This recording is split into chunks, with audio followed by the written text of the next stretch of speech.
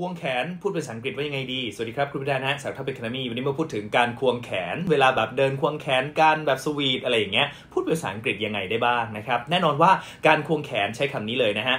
arm in arm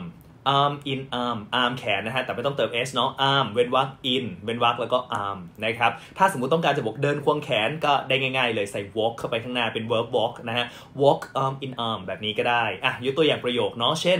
we walk arm in arm อย่างเงี้ยก็คือเหมือนแบบเรา